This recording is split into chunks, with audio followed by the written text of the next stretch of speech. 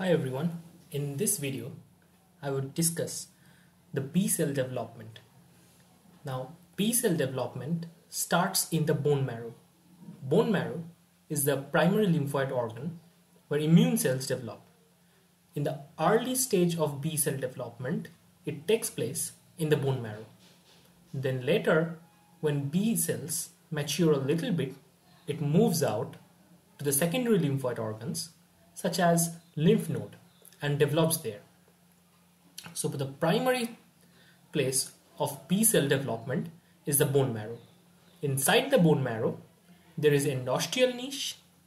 Endosteal niche is closer to the uh, bones where the osteocytes are there and there is another niche known as vascular niche around the blood vessels. In the endosteal niche, there are certain cells known as stromatal cells. Now these stromatal cells play a crucial role in B cell development. So let's just take a moment to learn more about the stromatal cells.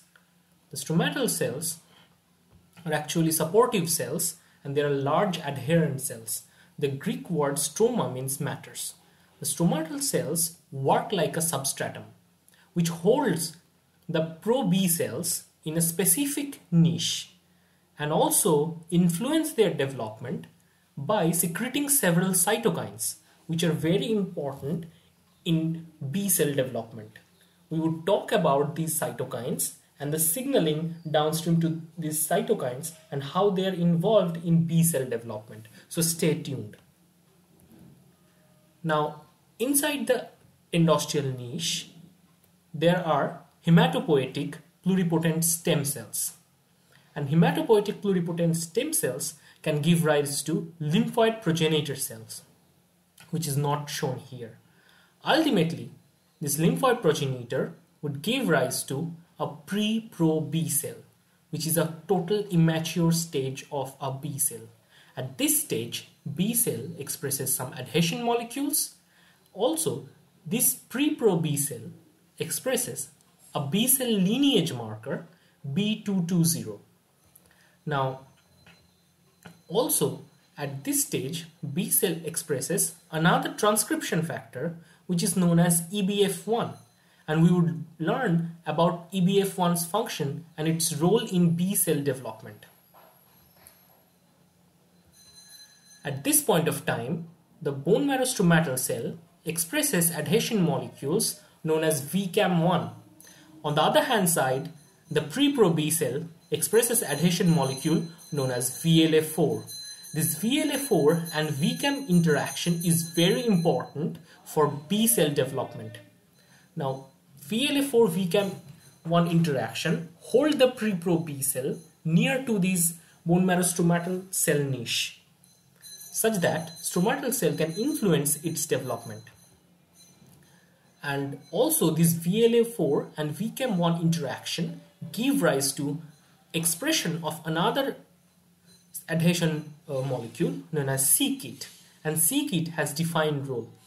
From the pre-pro B cell, after the interaction of VCAM1 and VLA4, it start expressing c-KIT. On the other hand side, stromatal cell expresses stem cell factor or SCF this SCF and c-KIT interaction is important clue for the proliferative signal to B cell. Also, another chemokine known as CXCL12 mediated signaling is very important for pre-pro B cell. Now at this point of time, two important phenomena happens. One is c-KIT and SCF interaction which give rise to a proliferative signal and also at this point the CXCL2 based signaling system give rise to proliferative signal. From this point onwards the heavy chain DJ recombination starts. Now as time progresses the early pro B cell detaches from that specific stromatal cell and goes and bind to other stromatal cells which are IL-7 secreting. Now IL-7 has distinct role in early pro B cell development. IL-7 receptor is situated in the early pro B cell and IL-7 binds to IL-7 receptor and this give rise to specific signaling. At this point of time, VDJ recombination takes place. So the B cell receptor, which is basically membrane bound anti-IgM or anti-IgD, they are they are actually produced. The heavy chain is produced from this point onwards. So let's just take a look what IL-7 mediated signal do. So IL-7 bind to its specific IL-7 receptor on the uh, early pro B cell stage. Now it binds to the IL-7 receptor which is a tyrosine kinase and which is a tyrosine kinase based receptor. Now along with it Janus kinase is associated. Now JAK gets phosphorylated upon IL-7 binding and it allows phosphorylation of STAT5. STAT5 moves to the nucleus and start transcription of NMYC and CMYC. Also, it start transcribing EBF1 and EBF1 and STAT5 both allow transcription of PAX5. EBF1 is super important for DGH recombination and also PAX5 is very important for VDJ recombination. For the heavy chain recombination, PAX5 and EBF1 are super important. So these two transcription factors ensures that the heavy chain recombination takes place properly. Now EBF1, E2A and PAX5, all these transcription factors actually activates many genes which are important for B cell lineage specification and B cell proliferation. Now, once the early pro B cell stage is over, then comes the late pro B cell stage. In the late pro B cell stage, it starts expressing a primitive version of a primitive version of BCR, which is known as B cell receptor.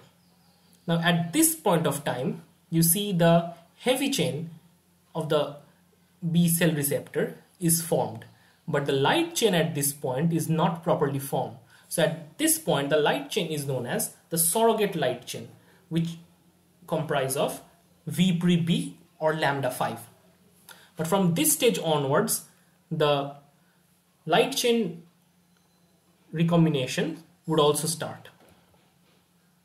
Now, it would start expressing CD25 and high affinity IL-2 receptor. Now it, now it would become an immature B cell. Now in the immature B cell, in the immature B cell, you can see the uh, light chain is now formed and also another remarkable thing is IL-7 receptor is downregulated. In absence of IL-7 receptor mediated signaling, the adhesion molecules would be also downregulated. So these immature B cells are detached from the bone marrow stromal cell niche. So now they comes to the vascular niche and they migrate via blood vessels and ultimately reach lymph node which is a secondary lymphoid organ. Now inside the lymph node there are specific regions for B cell and T cell development. So lymph node is like an army base camp where they get specific trainings. Now B cell at this point is immature, it's naive, it has not, though it can recognize antigen, but it has not encountered real antigen. But in this germinal center, in the specific B cell zone, it would interact with dendritic cells and other antigen presenting cells to recognize antigen. And it would either become an antibody producing plasma cell or it would become a memory B cell. About B cell affinity maturation and B cell activation, I have separate video. So this is how B cell development progress from the bone marrow and some part of the development happens in the lymph node as well. So if you like my video, give it a quick thumbs up. Don't forget to subscribe, please share and thank you.